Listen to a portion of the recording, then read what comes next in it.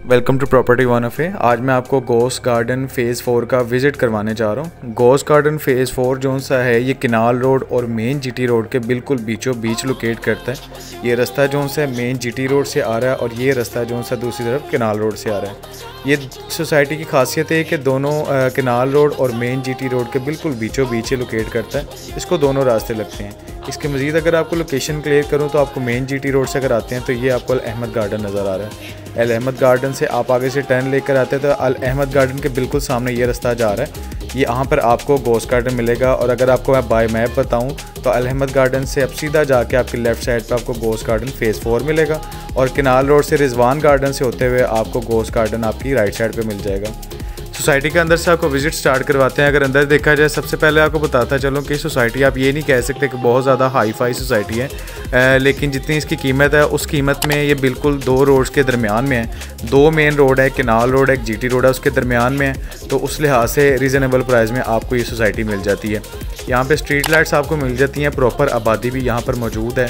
सड़कें भी हैं, लेकिन यहाँ पर मैंने पूरी सोसाइटी में देखने के, जब देखिए तो मुझे पता चला कि यहाँ पे किसी किस्म का कोई सिक्योरिटी गार्ड मुझे नज़र नहीं आया, यानी कि यहाँ सिक्योरिटी की कोई पोजीशन इतनी ज़्यादा अच्छी नहीं है। और इसकी वायरिंग की बात की जाए तो वायरिंग इसकी ओपन है अंडरग्राउंड वायरिंग नहीं है, अलबत्त ग्रीनरी का यहाँ पर ख्याल रखा गया। ज़रूरियात ज़िंदगी की जो चीज़ें होती हैं, जिसके लिए आपको जनरल स्टोर चाहिए होते हैं या बाज़ार वगैरह जाना होता है आपने, उसके अलावा आपको स्कूल रिक्वायर होता है कि बच्चों वगैरह को वहाँ भी बेच सकें, वो इस सोसाइटी के अंदर ही है।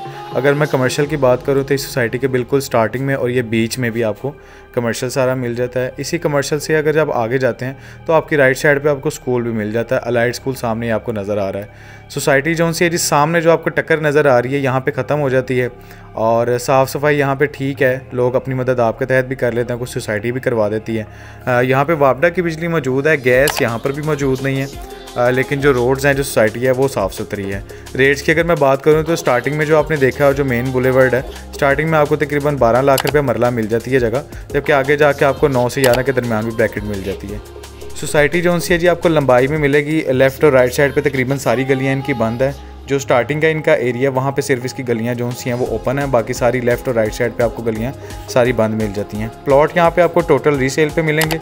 रीसेल पे प्लॉट यहाँ पे अवेलेबल हैं और उसके अलावा अगर इंस्टॉलमेंट प्लान का अवेलेबल नहीं है क्योंकि पुरानी सोसाइटी है टोटली डेवलप हो चुकी है। अलबत्त यहाँ पर आपको कमर्शियल बाकी फैसिलिटीज़ मिल जाती हैं। और नौ से ग्यारह के दरमियान इसकी ब्रैकेट है जो कि बड़ी रीज़नेबल प्राइस है, क्योंकि सोसाइटी बिल्कुल बीचों बीच लोकेट करती है। इसको जीटी रोड और किनाल रोड दोनों लग जाते हैं स्कूल और कमर्शियल इसके अंदर ही मौजूद है। लिहाजा आपको सोसाइटी के बाहर जाने की खासम खास कोई ज़रूरत नहीं पड़ती है। यहाँ पे ये जो सी आपको गली की मैं बात कर रहा था, ये एक वो गली है जो कि खुलती है ओपन है। बाकी जो लेफ़्ट और राइट साइड पे है जी गलियाँ, वो सारी बंद है।